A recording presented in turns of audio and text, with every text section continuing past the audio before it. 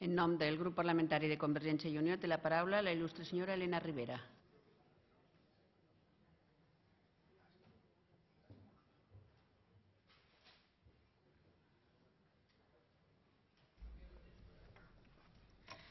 Gràcies, presidenta. Aquesta és una llei que em sembla que tindríem que tenir-ho ben present, que és de fundacions, en principi de persones jurídiques, de fundacions per extensió, però que es centra sobretot en les fundacions privades, majoritàriament. Per tant, de lo que es tracta, entenem que el legislador per lo que ha de vetllar és per la, per la promoció i no per la intervenció en les fundacions privades, perquè privat vol dir això, el que és privatiu d'algú, els diners que corresponen a aquella persona, la seva voluntat, la seva llibertat. Des de l'administració pública no podem entrar i collar de tal manera als particulars que els escanyem i, per tant, eh, dificultar la vida de les fundacions de tal forma que eh, no se'n constitueixin o que se'ls dificulti la gestió, i més en un moment tan difícil de crisi econòmica com la que estem vivint ara, que el que hem de fer és agrair que hi hagi persones amb bona voluntat que disposin del seu temps, dels seus recursos i que els posen al servei de la societat. Hem parlat i s'ha parlat de la possible pressa, de la possible, del possible voluntat de no tancar acords. Res més lluny de la veritat. Convergència i Unió si va tramitar per el procediment d'urgència el projecte de llei de fundacions és perquè ja venim de l'anterior llei del 2008 que obligava les fundacions a modificar els seus estatuts i adaptar-los en un termini.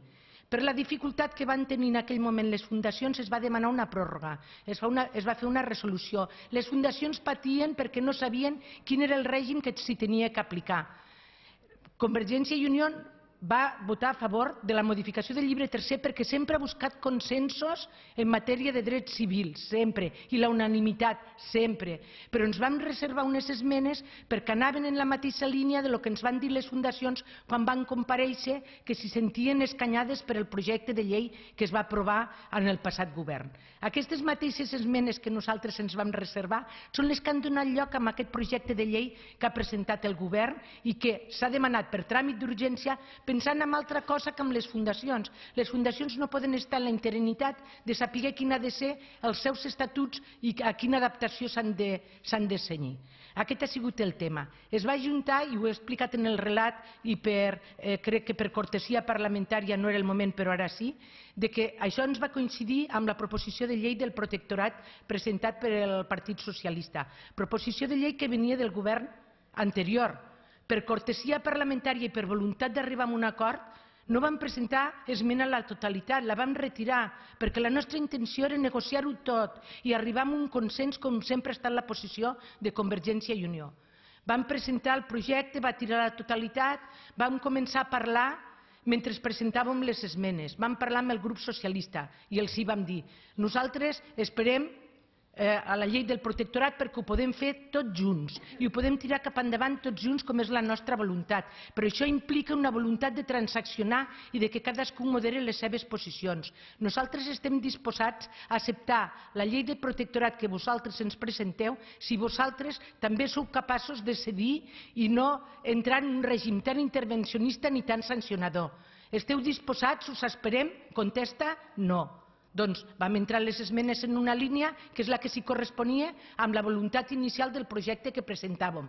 Flexibilitzar, agilitzar, eh, donar possibilitat a que les fundacions ajuden a la reactivació econòmica amb també tot això, tota aquesta flexibilització, juntament amb incorporar les garanties i les tuteles suficients quan aquestes fundacions privades s'escapen de l'àmbit estrictament privat i eh, tenen eh, diners públics eh, perquè han rebut de subvencions o de donacions. Aportar garantia al sistema al mateix temps que li donem l'aire suficient, la canxa suficient, la confiança suficient als patrons, a les fundacions, a la societat catalana en general, perquè sàpiguen que poden tirar cap endavant si fan les coses ben fetes i que aquest govern confia en que les volen fer ben fetes. D'aquí la declaració responsable. D'aquí a que ens, ens apoyem en la normativa europea de liberalització del sector, que ja parla de declaracions responsables.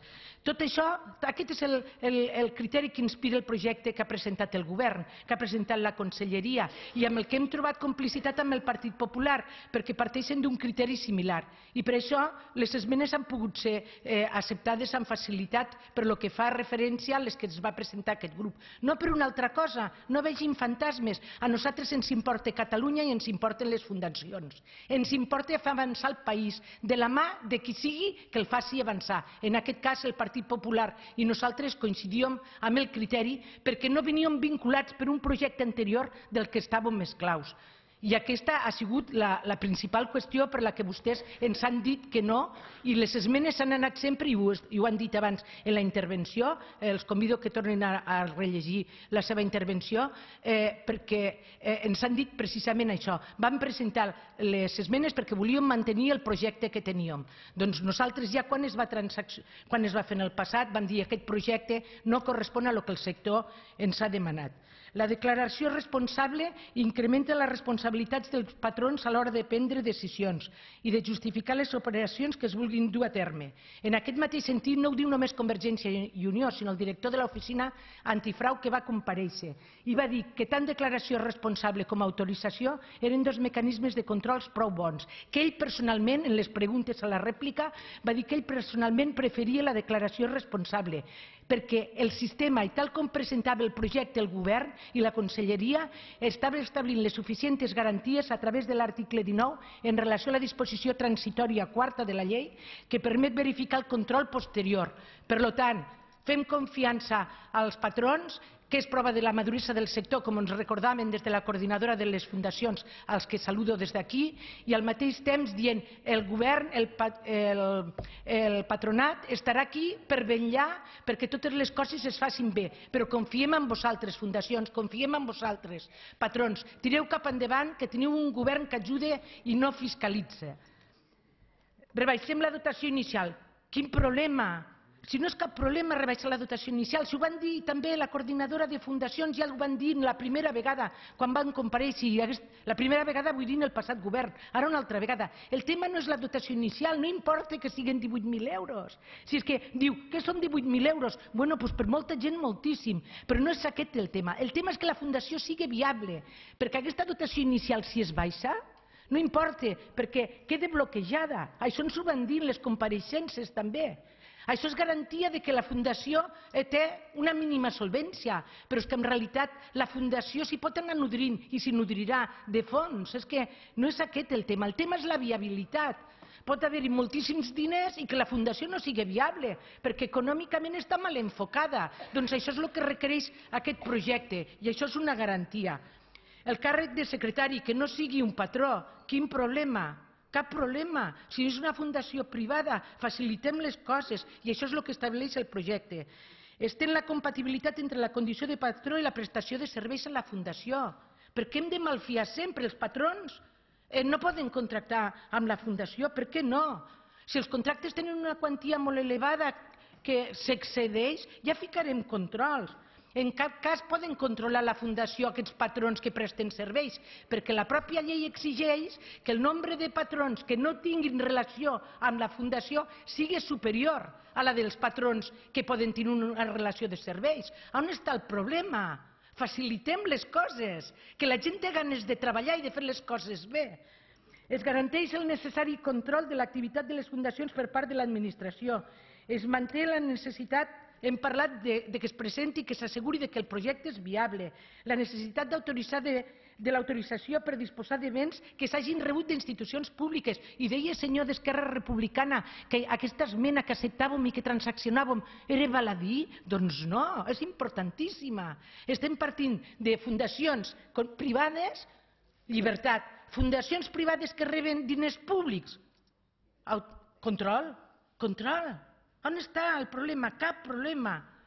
El que volem és que el ciutadà tingui garantia que els seus diners, quan van a una fundació privada, estan ben empleats. Doncs control.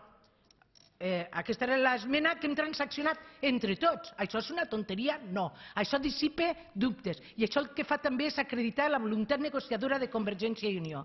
També serà obligatori fer auditories quan el 40% del pressupost de la Fundació provingui de subvencions públiques. Això també és deixar fer el que vulguin? No.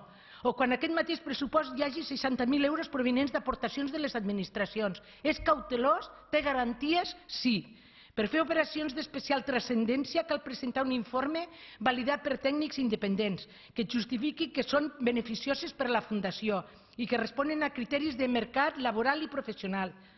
Es permet que el protectorat també sol·liciti auditories sempre que apreci la necessitat d'obtenir una imatge més fidel i completa dels comptes. Què estem fent? Pues facilitar.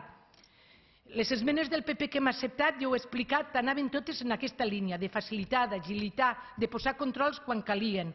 Les esmenes que no hem pogut acceptar, malgrat la nostra voluntat, anaven en la línia contrària, intervenir, eh, controlar, mantenir lo anterior. I podríem anar detallant-les una a una. Eh, per tant, eh, només dic que en les que hem acceptat, per exemple, l'apartat número 2 de l'esmena 46 de, d'iniciativa Catalunya Verds, Esquerra Unida i Alternativa, relatiu a la necessitat d'adjuntar la declaració responsable les objeccions en contra de la contractació que hagi formulat qualsevol dels membres del patronat competent, ja sigui en la mateixa acta o per escrit separat.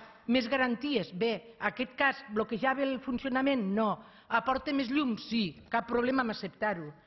Aquestes esmenes que hem parlat abans, la 50 d'Esquerra Republicana en relació a la 52, 58 de, de Ciutadans, la 53 i la 56 d'Iniciativa, Esquerra Unida i Alternativa, que es considera necessari que el protectorat controli el destí dels fons públics. Perfecte. Doncs on està el problema? Si realment no hi hagués hagut voluntat d'acord no hauríem passat dos dies en comissió i en discussió, si estigués tot tancat es va estar explicant tots els temes i es van posicionar diferents posicions. Des de luego no es va poder tancar en la mateixa comissió aquelles coses que necessitaven de l'expert tècnic del, del Consell del Departament i que el Departament, eh, com a eh, presentant del projecte, tenia que validar que aquesta humilde diputada en sabia prou com per tancar la negociació. Això ha passat en aquest govern i passa en qualsevol negociació. Necessitem el, el recolzament per part del, del Departament de lo que estem tancant després és viable i que s'hi pot portar a la pràctica. Esmenes rebutjades. Podríem entrar en el detall. Secretari no patró els hem rebutjat, les que ens deien que el secretari tenia que ser patró. Per què? Pues perquè volem la liberalització del sector. L'acte d'estat, que cal... Aquestes, totes aquestes són les que hem rebutjat. Acte d'estat, aportació de més documentació sobre l'acte d'estat. L'acte d'estat, què vol dir? La liquidació final de les fundacions, demanar que també s'aporti el que fa solapar-se amb la d'altres documents comptables que ja s'han exigit. I en aquest sentit no aporta més informació que sigui útil al protectorat. Inscripció dels apoderaments, que s'ha fet aquí un gran esment de que si això trencaria la seguretat jurídica, no trenca res. En l'actualitat s'està negociant i s'està funcionant en el món jurídic d'aquesta manera. Encara que no ens ho sembli, les relacions personals es basen en la confiança. Si no hi ha confiança, no hi ha negoci. I jo t'hi puc dir que tinc un apoderament i que estigui revocat Eh, per tant, el títol de l'apoderament es presentarà per fer un contracte i s'hi tirarà cap endavant. Perquè si ho tinguéssim que regular tot, tot, tot, tot, saben què passaria? Que bloquejaríem el funcionament de la societat. I això és impossible. El Codi Civil ja estableix el principi de llibertat entre els entre els, entre els contractants i la bona fe com a matèria en el funcionament dels contractes. I per això existeixen els tribunals, perquè la llei és interpretable i perquè no s'hi pot lligar tot. I els tribunals decideixen Però el que passa és que aquí oferim les suficients garanties i, per tant, aquestes esmenes no s'hi podien acceptar. Més esmenes que no es podien acceptar. O tornar a regular aquí el tema de les fundacions del sector públic. Les fundacions del sector públic no hi caben en un codi civil de dret privat. Tot el que és públic forma part de l'esfera del dret administratiu i mereix una regulació a part, a més de que existeixen diferents definicions d'aquesta normativa sectorialment. I així podríem continuar relatant. Patrons amb funcions de direcció, més de lo mateix. Les esmenes que s'han rebutjat el grup socialista, per exemple, anaven en la línia de, de l'autonomia de gestió. Els patrons han de poder exercir funcions de direcció i poder contractar. Conflictes d'interessos, igual. Bé, tot això ens porta a una reflexió final.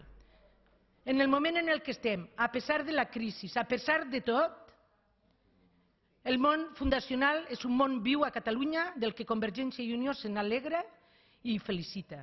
I, a més, vol protegir i tutelar. El total de fundacions en el 2011 era elevadíssim. En general, creiem que les fundacions, com hem dit, atès que són entitats privades i subjecte al dret civil, no han de ser objecte d'intervenció permanent. Les, una altra cosa són les fundacions públiques. Aquí és tota la cautela. Activació econòmica i flexibilització en el sector sense oblidar les garanties necessàries.